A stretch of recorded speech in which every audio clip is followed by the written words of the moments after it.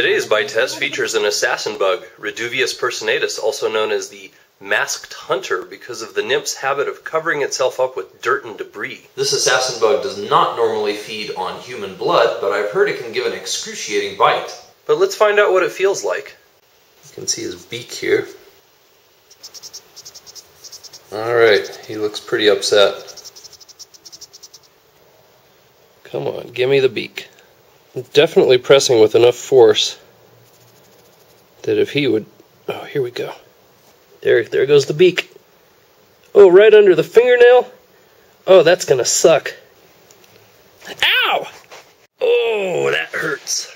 Okay, so at the site of the bite, there is a gnawing pain that goes, ah, oh, that goes way down under the skin. And it just keeps building up and building up. It feels like it's going ah, right down into the bone of my finger. If a hornet sting is 10, I would rate the assassin bug bite at about a 7 for the first minute. After that, it trailed off into a 3 or 4.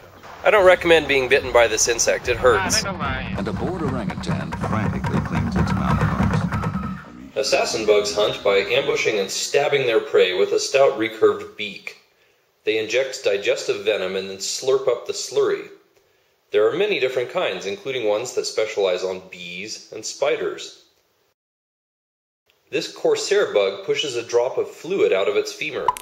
This behavior has not been recorded before, but it may help the bug repel predators. One subfamily, the kissing bugs, parasitizes sleeping people and are a vector for Chagas disease. The vast majority of species, however, want nothing to do with humans and will only bite when provoked.